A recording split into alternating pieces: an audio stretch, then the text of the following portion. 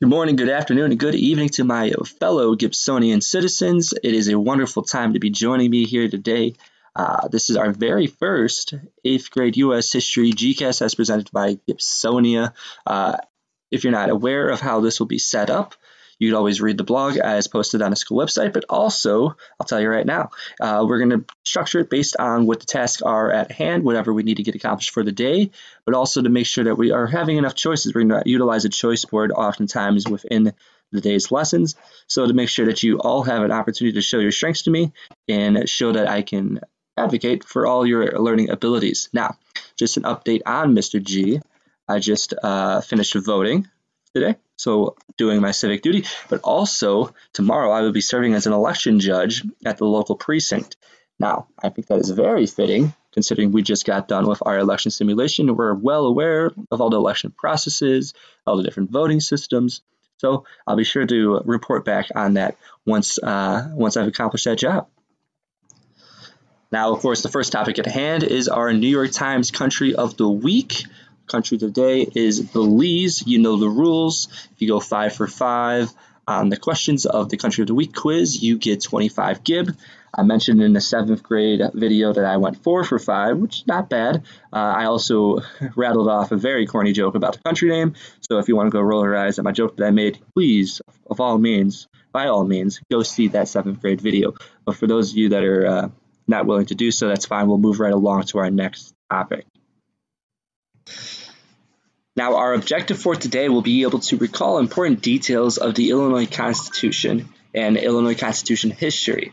So, there's a couple ways that we may go about doing this. Our first option over my shoulder is to read your Illinois Constitution booklet that you were to bring home. Uh, if you do not have this in your possession, luckily enough, I will post the pages needed uh, to be read on Classroom, so have no fear. Uh, another option over my other shoulder will be to uh, follow along and take notes on the slides that I will post also on Google Classroom.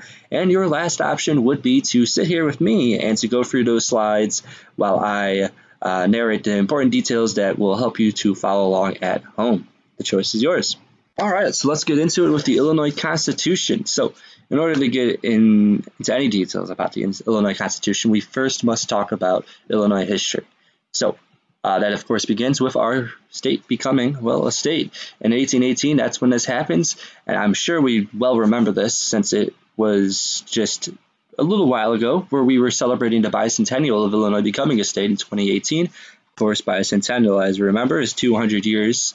Uh, so uh, that should be fresh in our memory, uh, remembering that Illinois became a state in 1818. Our first capital was Kaskaskia, uh, which also happened to have been an early Native American settlement before uh, be- before Illinois became an actual full-fledged state. And then that was followed up by Vandalia.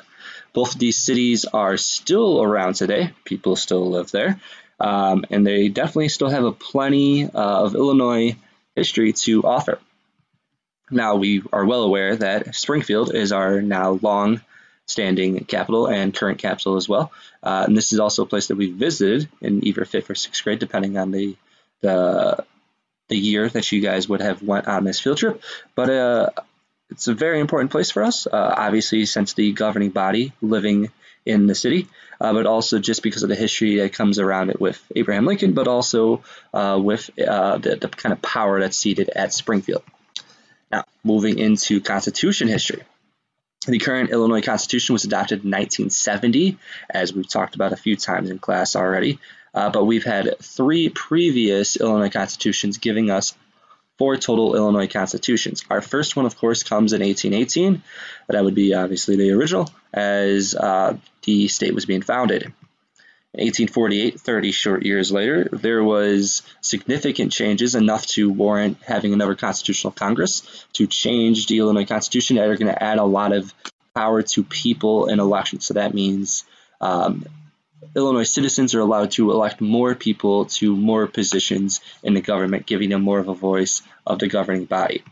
And then in 1870, there would be one more constitutional convention and this time they must have did a very good job because this document's going to govern us for over 100 years, uh, which let's put this in a little bit of perspective. There's people alive today that were governed by this 1870 document. So once again, people alive today were governed by a document that was five short years removed from the Civil War. Uh, so in 1970, it's not surprising to find that the framers of the new current 1970 Constitution felt that the 1871 wasn't modern enough for the Illinois that we now live in, uh, with a much more uh, global situation that we live in, but also a much more modern uh, society. Now, course, if we recall from last year with the U.S. Constitution, it's well over 200 years old and it's still uh, alive and thriving. Uh, and we refer to the U.S. Constitution as a living document because it's always being added to or maybe even scratched out sometimes. Uh, and the, the, key difference between the U.S. Constitution and the Illinois Constitution of 1870, the 1871 wasn't as well structured as the U.S. Constitution was. There's a lot of things we've looked at the U.S. Constitution several times and thought mm, maybe a couple tweaks, but other than that, it's pretty good. Uh, we can we can always add to it, but for the most part, it gets the job done. Where the Illinois Constitution of 1870 just it, it, by by the time 1970 rolled around, there was there was just too many holes to just fix. It was better to just scrap it and restart anew. So that's going to be a short, quick bit of notes that we're looking at today. Don't want to just lecture for an hour uh, on YouTube, so obviously going to cut it short here.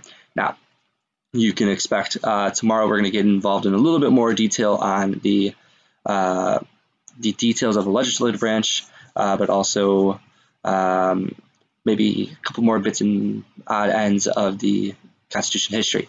Uh, remember that on Google Classroom will be posted a, a, couple of questions to make sure that we've been taking diligent notes uh, to help you review these last two slides on Illinois history and Illinois Constitution history. So uh, thank you for watching, and I hope to see you again tomorrow.